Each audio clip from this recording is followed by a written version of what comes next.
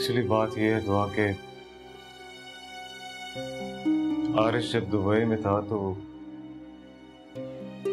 उसका इंटरेस्ट किसी लड़की में था और शायद बात शादी तक भी पहुँच गई। क्या? यहाँ एक बड़ी अच्छी कंपनी में मुझे जॉब की ऑफ़र आई है। उसे ही ज्वाइन कर लूँगा। और अम्मी और भाई को भी कॉल करके मैंने बता दिया है कि मैं वापस नहीं आ रहा। सारी पैकिंग करनी है। मामू के यहाँ पे होना चाहिए था? नहीं तो एटलीस्ट उनको मैं रह जाना चाहिए था। बेटा उनको नहीं पता कि हम कल जा रहे हैं। तो बाबा गलत बात नहीं है। आप मुझे अभी अपना फ़ोन दे मैं अभी उनको कॉल करता हूँ। कोई ज़रूरत नहीं क्यों नहीं? क्योंकि वो डिस्टर्ब हो जाएँगी ना।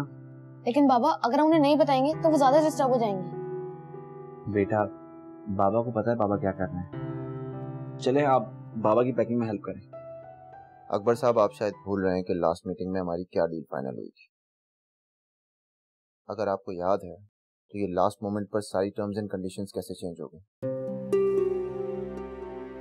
लेकिन, वेकिन, अगर मगर से कुछ नहीं होगा अकबर साहब। आप मेरी बात सुनो। अगर आप मेरे साथ बिज़नेस करना चाहते हैं तो ये पेपर्स मैं आपको भिजवा रहा हूँ। इनको रीराइट करवाइए।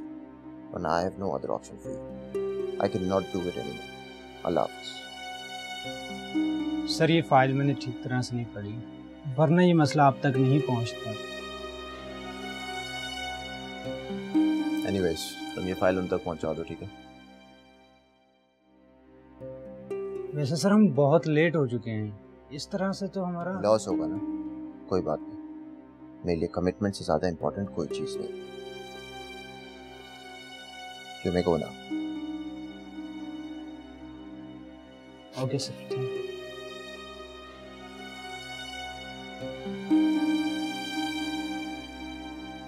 इतने सारी पैकिंग करनी है और अभी तक कुछ भी नहीं किया हम लोगों ने बाबा? जी? मामा के आरिश के साथ रहेंगी। जी बेटा। अपनी खुशी से? आप इतनी बड़ी बड़ी बातें क्यों करने लगे हो? बताए ना बाबा। खुशी से।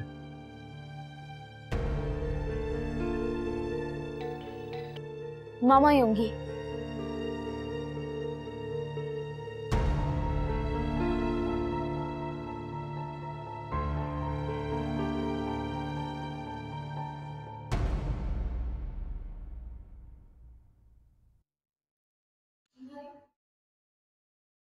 आपने मुझे बुलाया? हाँ बैठो।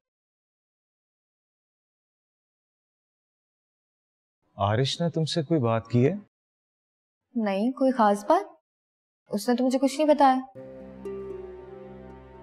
ओ, अच्छा चलो कोई बात नहीं। रहने क्यों दो? आप बताएँ क्या बात है? नहीं गुड़िया कोई इतनी ज़रूरी बात नहीं थी। भाई प्लीज़ बताए ना। अच्छा बाबा बताता हूँ। आरिश ने फैसला किया कि अब वो तुम्हें लेकर दुबई नहीं जाएगा। यहीं रहेगा पाकिस्तान। में रियली भाई? थैंक गॉड मैं बहुत ज़्यादा घबरा गई थी कि मैं आपसे दूर कैसे रहूँगी।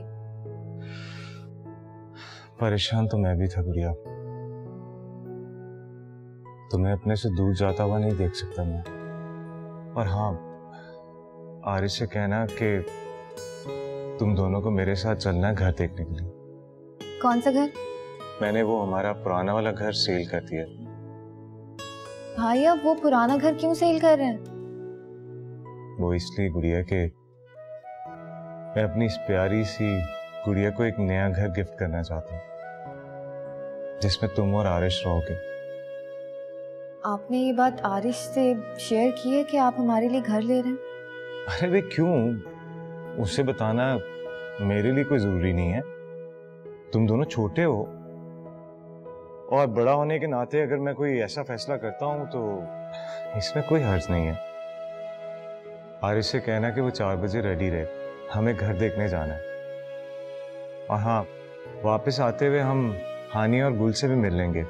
उनकी आज फ़्लाइट है दुबई। की जी भाई मैं अभी जाके फ़ोन करती हूँ। हाँ जाओ।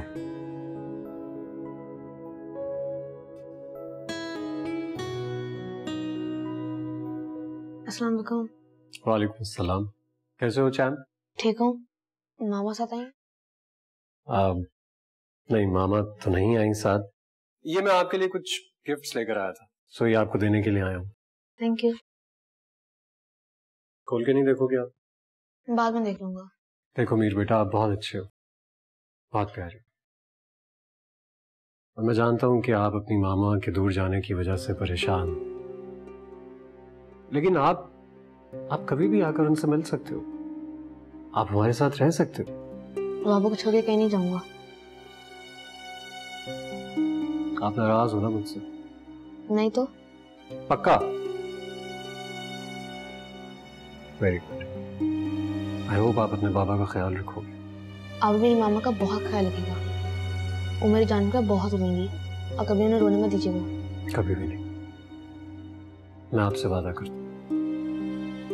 चलो जाओ ये गिफ्ट जाकर अपने बाबा को दिखाओ।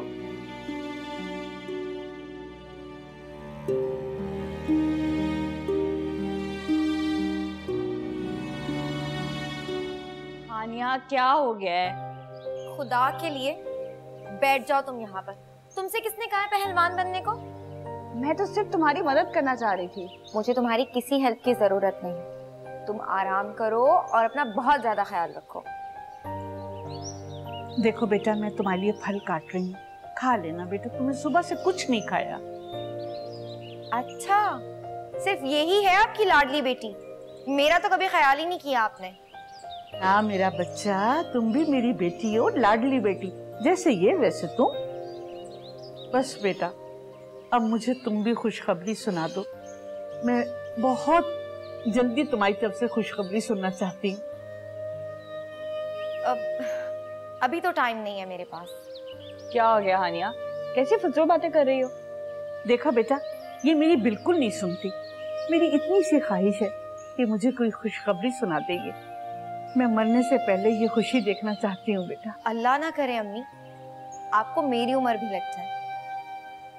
मेरा आपको छोड़कर जाने को दिल नहीं चाह रहा। आप भी चले ना मेरे साथ। पागल हो गई हो।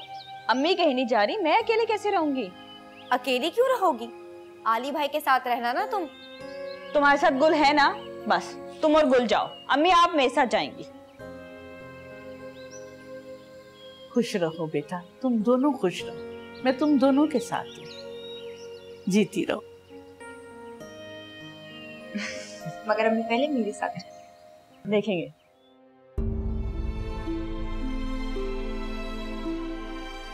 बहुत खुशकिस्मत हो गुलाब।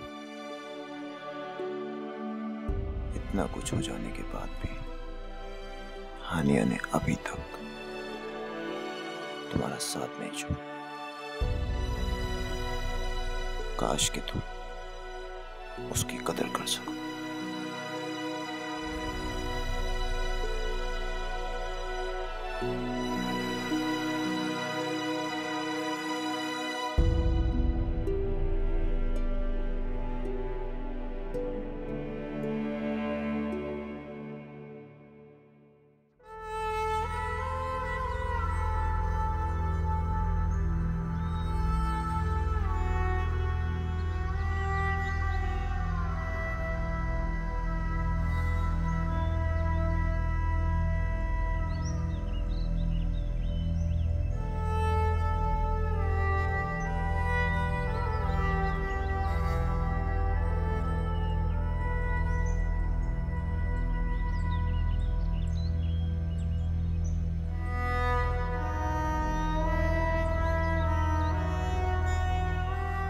आज मैंने अपना फ़र्ज़ पूरा कर दिया और मैं आपसे शाबाशी लेने गया आपकी दुआ लेने के लिए आया हूँ।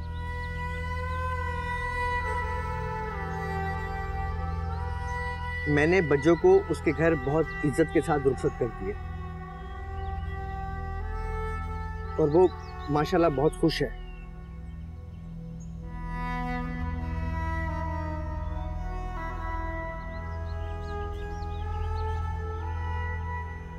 मैं दुबई जा रहा हूँ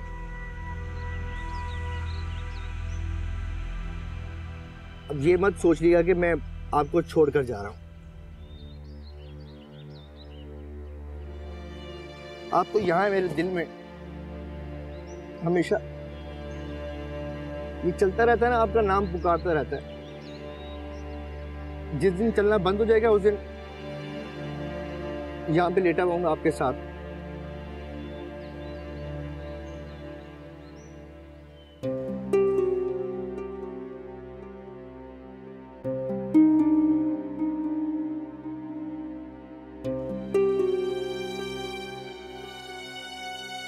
क्या मुझे परीसा को बगैर बताए चले जाना चाहिए?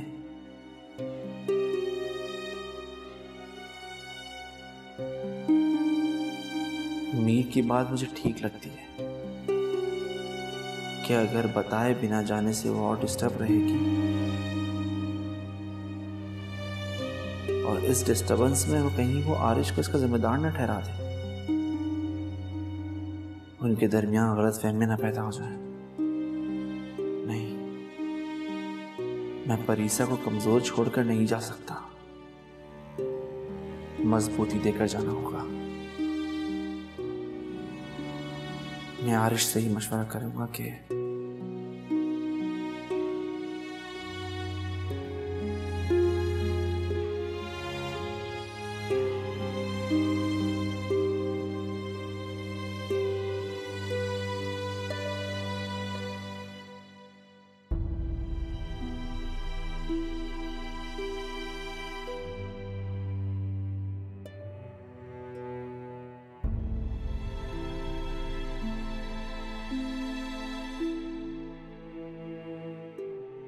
आप कहती थी ना कि बच्चों की गोद नहीं भरी। उसकी एक छोटी बेटी भी है।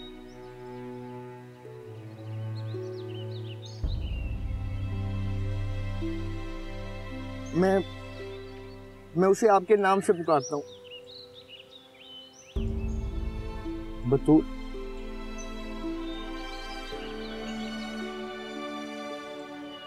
मेरी अम्मी।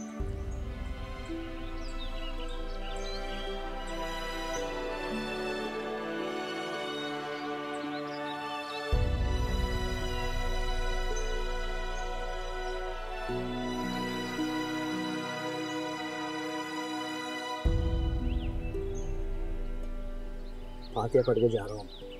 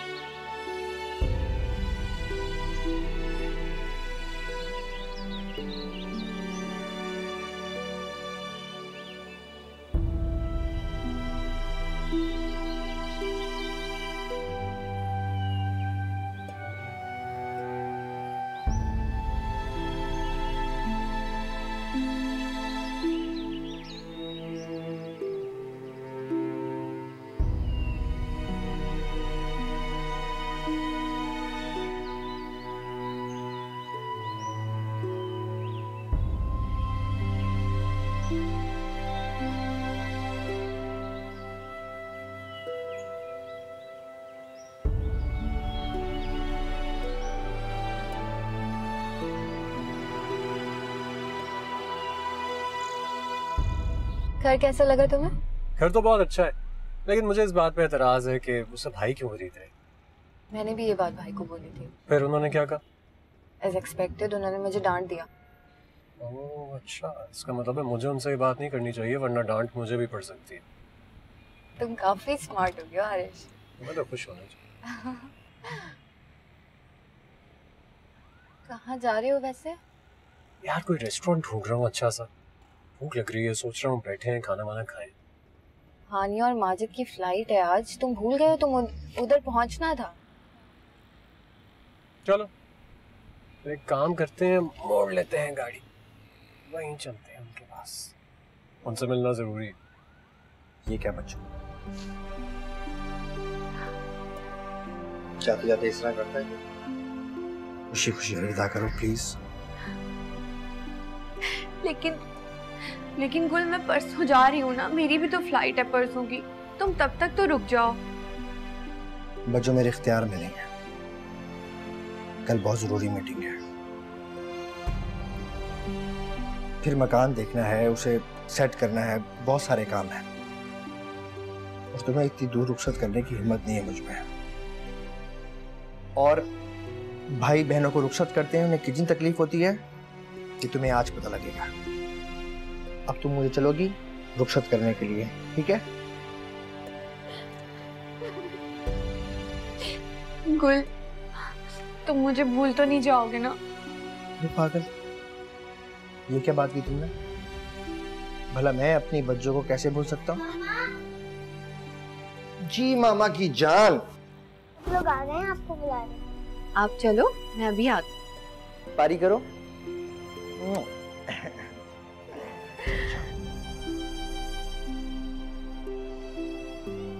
ये तुम्हारे चेहरे पे मुस्कुराहट देगी।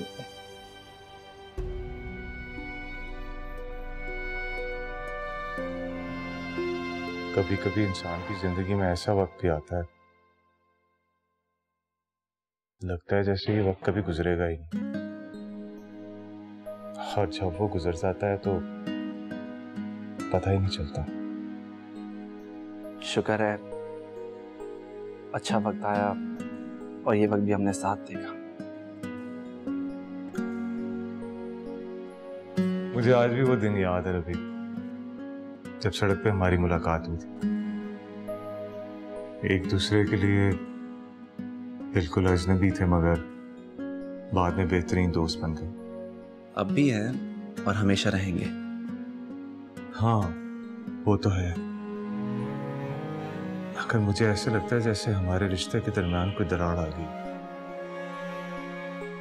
ऐसा कुछ हो गया है जो नहीं होना चाहिए था। कैसी बातें कर रहे हो अली और क्या हुआ है? तुम इतने टची क्यों हो रहे हो आज?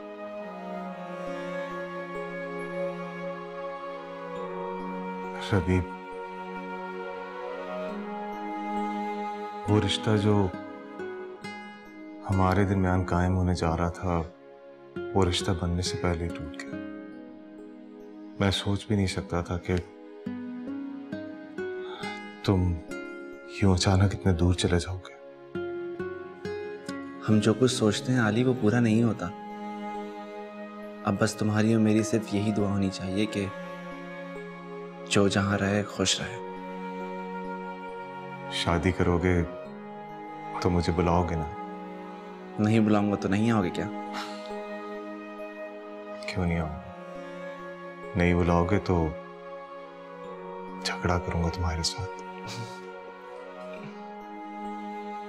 रबी तुम्हारी सुबह को फ़्लाइट है और तुमने मुझे खुद से नहीं बताया। आरिश के थ्रू पता लग रहा है मुझे। शायद मेरी हिम्मत नहीं हो रही थी कि तुम झगड़ा करोगे। अब तो मैं झगड़ा करूँगी। अरे बस करो ना। लड़ाई झगड़ा बंद करो। रबी जा रहा है। अब तो हमें रबी और मीर को भी गुल और हानिया की तरह दुआ देकर और खुशी खुशी रुखसत करना है। हाँ भाई बिल्कुल ठीक कह रहे हैं। भाई फरीसा रफी को हमें हँसी खुशी भेजना चाहिए ना? अच्छा बताओ मीर कहा वो ऊपर है। मैं आती हूँ। शुक्र है भाई इसने ज़्यादा झगड़ा नहीं किया। अब आप सब यही हैं तो एक कप चाय हो जाए। ओह यस व्हाई नॉट मैं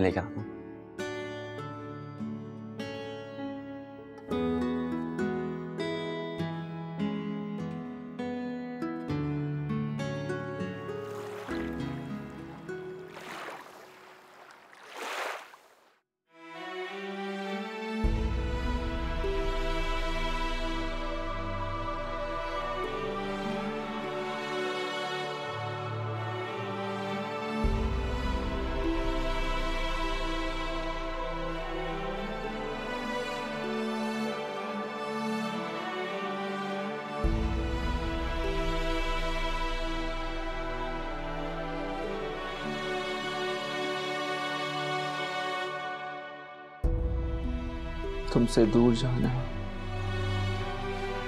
अकेले ज़िंदगी गुजारना मेरे लिए बहुत मुश्किल होगा परिस बहुत मुश्किल होगा।